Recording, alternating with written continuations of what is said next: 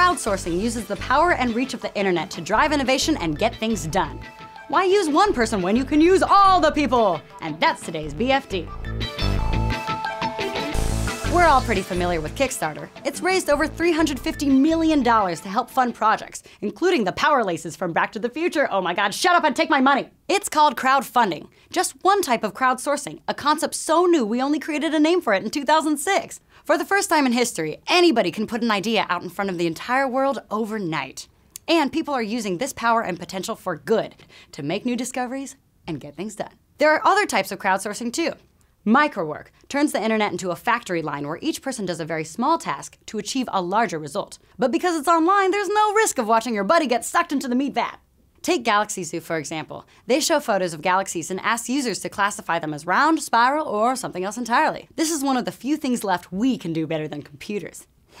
By having eager stargazers classify a few pictures a day, astronomers can fill in the gaps in our understanding of the night sky. The astronomy geeks get paid in satisfaction, but other microwork sites give out cold, hard PayPal credit. Amazon's Mechanical Turk may not be a full-time gig, but it might pass the time better than Sudoku, and it pays. Wisdom of the crowd sites take brainstorming to the nth degree. The real idea is that somewhere in the world, somebody sitting at a computer has a solution to your problem. OpenIDEO.com is a site that works with nonprofits to present the community with a social issue challenge.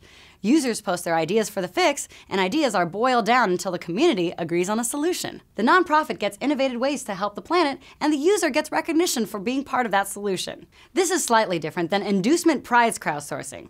That kind presents a large problem and offers money or other rewards for coming up with the right idea. Sites like xprize.org offer millions of dollars for technical innovations, ranging from a new kind of spaceflight to revolutionary oil cleanup techniques, and a recent challenge to build something that approximates Star Trek's fictional tricorder. What? Other crowdsources you might know are Wikipedia and Threadless. Yep, the t shirt company, that's crowdsourcing.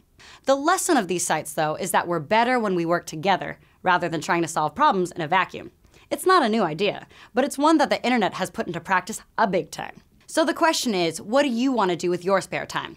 Look up pictures of your ex on Facebook, or do a little bit of work that makes big changes in the world?